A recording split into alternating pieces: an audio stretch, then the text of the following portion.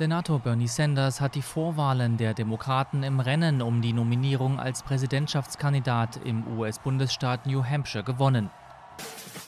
Pete Buttigieg belegte den zweiten Platz, während Senatorin Amy Klobuchar auf dem dritten Platz landete.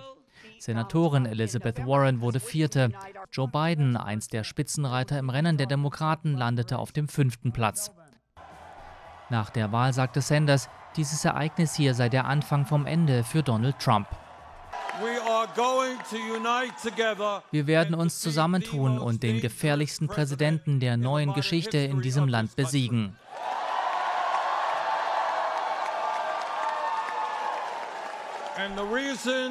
Und der Grund dafür, dass wir gewinnen werden, ist, dass wir eine noch nie dagewesene Graswurzelbewegung von einer Küste bis zur anderen haben, von Millionen von Menschen.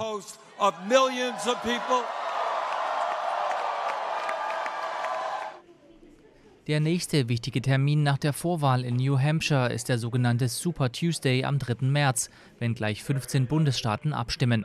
Dann will auch der frühere Bürgermeister von New York, Michael Bloomberg, in das Rennen einsteigen.